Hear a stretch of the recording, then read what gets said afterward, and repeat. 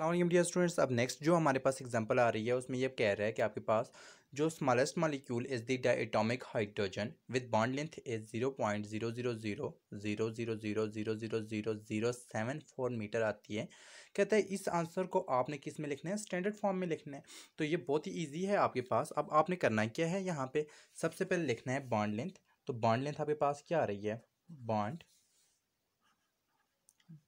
Length सबसे पहले आपने इसको लिखा इसके बाद ज़ीरो पॉइंट, ये zero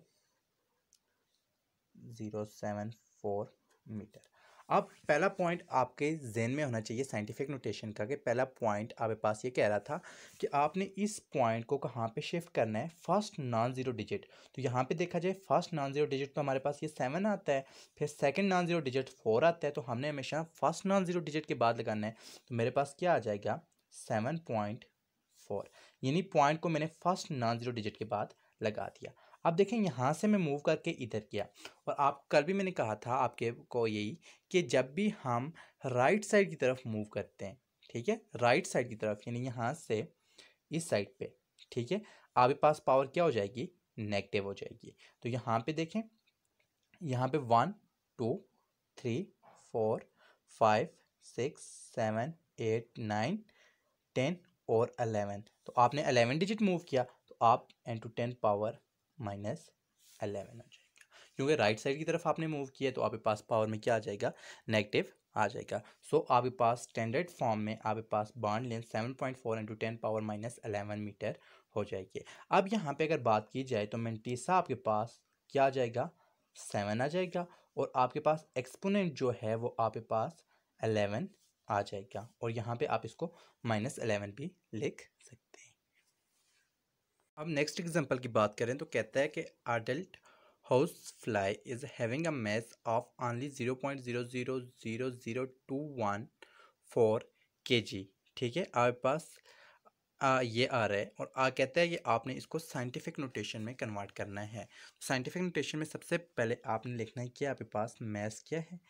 तो मैस आपके पास जो आ रहा है, वो almost zero point zero zero zero zero two one four K G अब साइंटिफिक नोटेशन का पहला रूल तो आपको पता है कि आपने ये जो डेसिमल पॉइंट है, इसको हमेशा फ़र्स्ट नॉन ज़ीरो डिजिट के बाद प्लेस करना है। तो आपने डायरेक्टली इसको मूव करके यहाँ पे प्लेस कर दिया। देखा जाए तो यहाँ पे हमारे पास तीन नॉन ज़ीरो डिजिट थे ना, लेकिन हमने क्या करना है? फ़र्स्ट नॉन ज़ीरो डिजिट के बाद प्लेस करना है। तो फ़र्स्ट नॉन ज़ीरो डिजिट हमारे पास ये वाला आ रहा है टू तो हमारे पास क्या आ जाएगा? Two point one four and to ten अब देखें टेन तो हमारे पास, ये साइंटिफिक नोटेशन है। अब टेन की पावर हमारे पास क्या होगी? बेसिकली हमने यहाँ से राइट की तरफ़ मूव किया और जब भी हम राइट की तरफ़ मूव करेंगे तो हमारे पास पावर क्या आ जाएगी? नेगेटिव आ जाएगी। तो जब पावर हमारे पास नेगेटिव आएगी तो हम ये देखेंगे कितनी नेगेटिव है। अब देखें, पावर तो हमें पता है नेगेटिव है। अब देखेंगे कितने डिजिट हमने यहाँ से इधर मूव किया। यहाँ से one, two, three, four, five. ठीक है? तो हमने फाइव डिजिट यहाँ से मूव किया। तो हमारे पास जो मैस आ जाएगा, वो almost two point one four and ten power minus five K G आ जाएगा। अब यहाँ पे मेंटीसा की बात की जाए तो मेंटीसा हमारे पास टू आएगा, ठीक है? और एक्सपोनेंट की बात की जाए